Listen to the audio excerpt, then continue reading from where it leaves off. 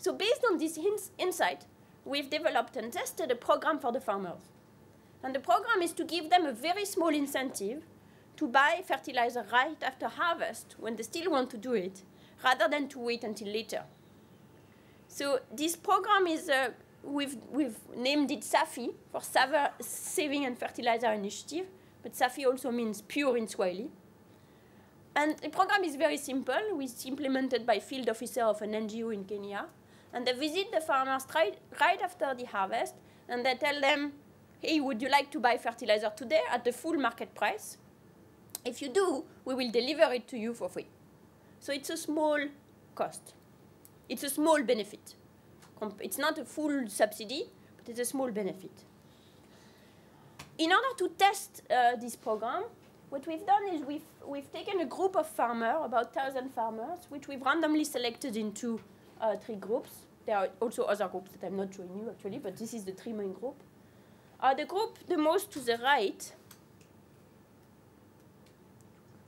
the most to the right is a control group, so we did nothing special. And in this season, 30% of them uh, used fertilizer. This group is a SAFI group. So all we did with this group is right after harvest, we told them if you buy it today, we'll deliver it to you for free. And the uh, use of fertilizer went from 30% to 51%. And in the middle, you see this 50% uh, subsidy. it also, of course, it's a 50% subsidy, so big subsidy, but at the time where people need it. So too late from the perspective of the agent. And you can see that this increased the rate of fertilizer use from 30% to 43%. That is less than the 51% that the SAFI program does. So take a mini subsidy, maybe that corresponds to a few percentage point off for the farmer, and this has more of an effect than a big subsidy at the wrong time. So this is an example which is uh, interesting because it helps us go get away from the big debate, should we subsidize, not subsidize. This type of small small subsidy is not going to distort the decision of anybody who was not planning to use fertilizer anyway. Only people who would like to use fertilizer, who think it's appropriate for them, will take advantage of this program. The others will not, because the benefits is too small. So this is an example where it seems that there was a $100 bill lying on the floor. And this $100 bill, someone had to identify uh, this uh, possibility and help uh, design this, this structure. Another interesting example of that is microcredit. Microcredit succeeded uh, uh, or took, uh, started after the failure of big government-sponsored lending programs. And in the 70s, there was these big programs, and they led to massive rent seeking and no repayment. And so the conclusion was, oh, lending to the poor is not possible. Uh, first, they don't have, uh, the, the loans are small, so the interest rate need to be high, but the poor don't have such high uh, rates of return opportunities, so they don't really, they cannot sustain those loans. And in any case, there is too much moral hazard and adverse selection and everything. And Yunus did design an institution that made lending to the poor possible, exploiting social capital, dynamic incentive, and regular meetings. I think the jury is still completely out on whether microcredit is good for the poor or not. But where it's not out is that it is possible to lend to the poor in very, very large number. Microcredit today lead, uh, reaches millions of people.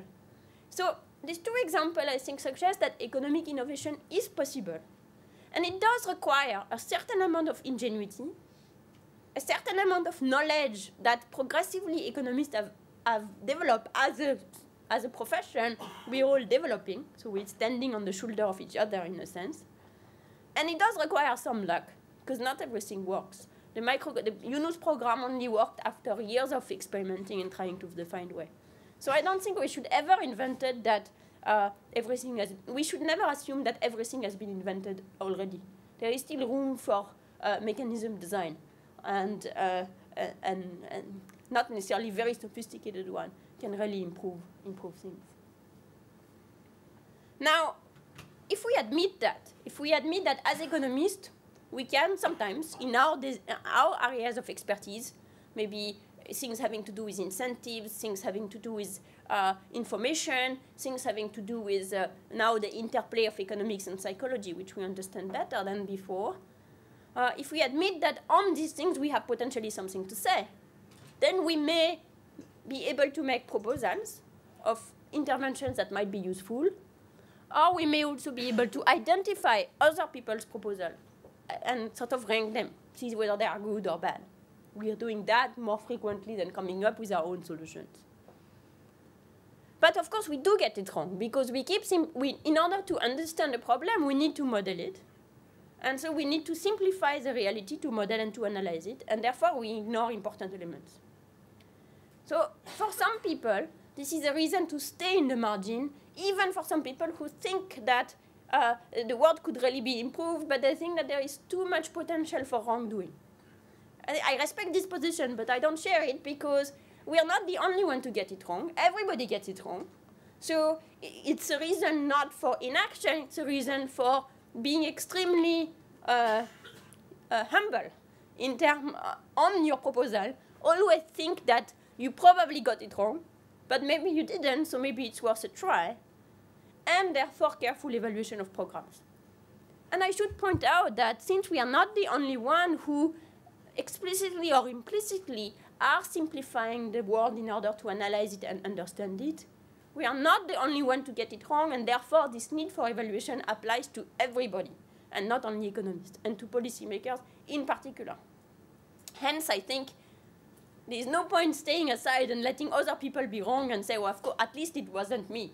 I don't think we are doing everybody a favor this way.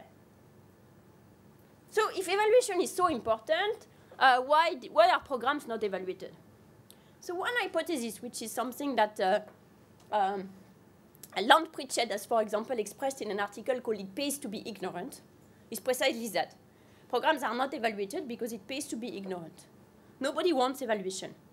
Uh, the program supporters need uh, to show success. Uh, they need to be re-elected. They need a promotion. They need funding for their program. And therefore, there is a general tendency to overestimate success. Nobody is fooled. But since everybody overestimates, I should also overestimate, and the evolution, the equilibrium of that keeps moving right and right and right and right. I think it, we could analyze that in evolutionary game theory easily. So that's a possibility. I think, to be honest, I've, I've hit, I've been confronted in my short career as an evaluation person against when I presented some results where I thought the results were quite good of someone telling me, oh, but I can do much better. You cannot prove it because it's very subtle, but I can do much better. It's like, whatever. So it is not only, uh, it, is, it is clear that it's part of the world. Let's not fool ourselves. But I don't think it's necessarily the only reason. I am a little bit uh, less, more optimistic than that. I think uh, evaluation is rare just because it is difficult. So first, what's evaluation? So one problem when we think about social policy, why, is, why do we have to evaluate social program and not, uh, uh, and why do people who build cars don't have to evaluate the, their cars? Social policy, in particular anti-poverty uh, policies, is necessary precisely when the market fails or, for some, or when, for some reason, we think we need to intervene on top of what the market is doing. For example, as a society, we might think that, uh, that we want every child to be educated, even if their parents cannot afford it, even if they cannot get loans, or even for that matter, if their parents did not want to educate them. So there are some problems where we are just willing to spend the money as a society, that's a decision we've taken, either because it's efficient or because it's fair.